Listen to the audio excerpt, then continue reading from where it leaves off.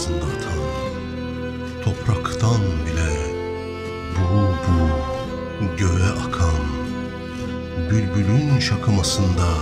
name, gülün gülümsemesinde renk ve koku olan canlıları zebun eden, demirleri yumuşatan, yelle esen, günle doğan, ayla balkıyan, Denizde köpürüp coşan Yazıda çağlayıp akan Her zerrede hüküm yürüten Her vara varlık veren